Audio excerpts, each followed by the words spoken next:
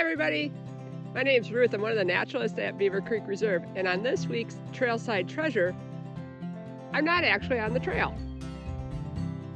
I'm at my house, and we are taking part of what's known as No Mow May. So No Mow May is to try to allow the plants and the grasses to get up to a flowering stage so that they're useful to our pollinators, to our native pollinators.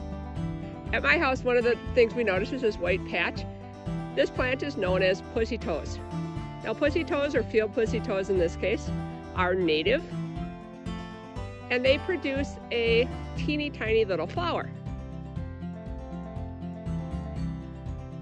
The flower, when we look at it, looks like kitten toes. So that's where the name pussy toes comes from.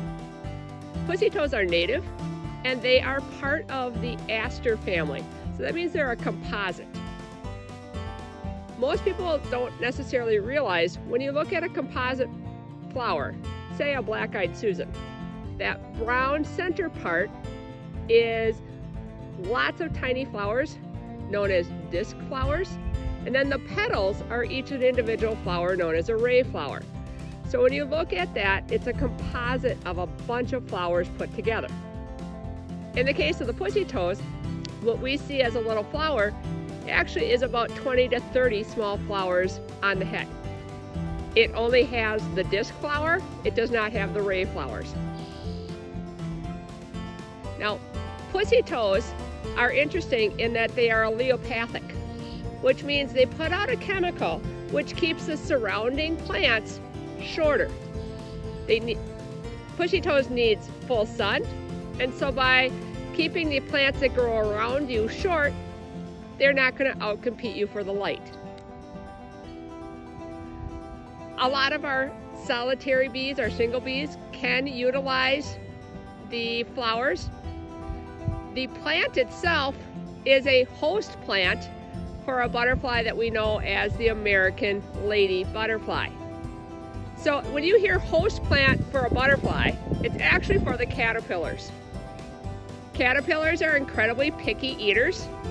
Some caterpillars, like the monarch, will only eat from the family called milkweed. American lady butterflies have several different host plants, but one of them is the pussy toes. So by taking part in No Mow May, we are able to see these cool little flowers come right up in our yard. Thanks for joining me. See you next time.